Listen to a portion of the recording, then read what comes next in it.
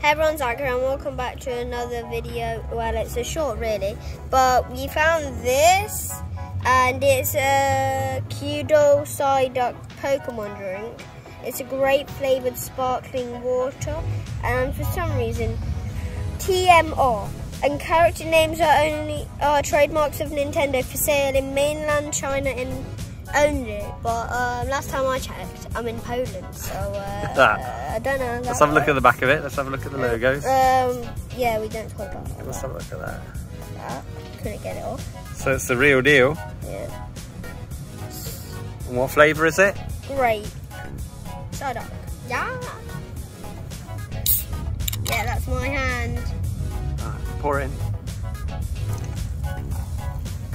Looks tasty. And now for the all important taste test.